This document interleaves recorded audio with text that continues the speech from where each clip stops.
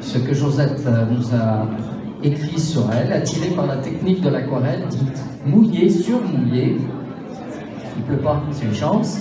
Elle est aujourd'hui reconnue dans ce nouveau courant des aquarellistes du cycle de l'eau. Ça s'appelle comme ça, n'est-ce pas? Elle trouve son inspiration dans tout ce qui est le symbole de liberté, de fluidité, et elle nous présente ici quelques thèmes de la femme, de l'eau, qui sont deux sources de vie éternelle et de mouvement. Merci Corinne d'être avec nous ce soir.